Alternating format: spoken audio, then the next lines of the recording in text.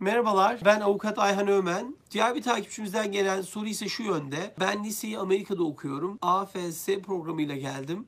Ben green card alabiliyor muyum diye bu takipçimiz soruyor. Şimdi bu değerli öğrenci genç arkadaşımıza tavsiyemiz şu olacak.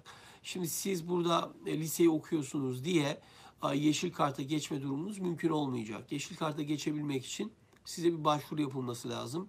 Bu ya ailevi başvurular üzerinden olacak ya da e, sen yaşın daha da büyüdükten sonra belki iş yeri üzerinden senin için yapılacak sponsorluklarla olabileceğini bu takipçimize söylemiş olalım. Yoksa daha yaşınız çok genç ve dolayısıyla eğitiminizi şu an devam ettirebilirsiniz. Bunun sonucunda bir şeyler yapılabilir. Ya da eğer ebeveynlerinizin, anne ya da babanızın Burada yeşil kart alma için belli adımlar atabilirse mesela örnek veriyorum yapılan e, yatırımlar var 500 bin dolarlık green card yatırımları.